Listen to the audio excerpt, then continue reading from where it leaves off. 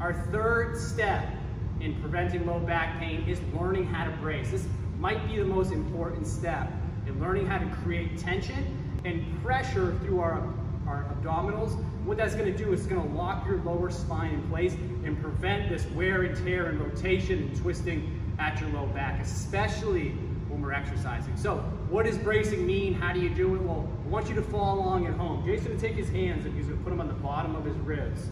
From here, he's gonna take a big inhale. When he does that, he's gonna feel the lower part of his ribs lift. That happens when you naturally inhale. What he's gonna do now is he's gonna exhale and think about taking those bottom tips of his ribs and tucking them down towards his hips. When he does that, that is your brace. He's feeling like a, a low level stomach crunch. And again, what that's doing is it's contracting the muscles that attach and wrap around his spine to keep it in a rigid position. So let's do it one more time. Inhale, ribs lift, and then he's gonna exhale, tuck the bottom tips of those ribs down, and brace. Now he's gonna hold that. That is your stomach brace. That is gonna protect your spine.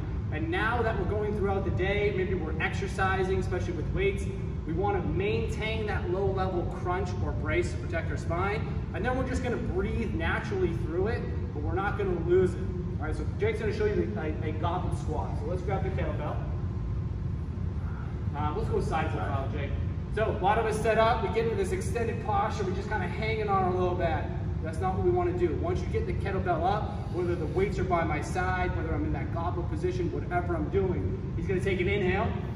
He's going to exhale, lock those ribs down. He's still keeping good posture, right? Don't forget that. Long spine, shoulders back, He's tucking his ribs down. And now he's going to get into some squats, but he's not going to lose that ab brace. Exhale to stand. So again, still working on great breathing, great control, but keeping those ribs tucked down.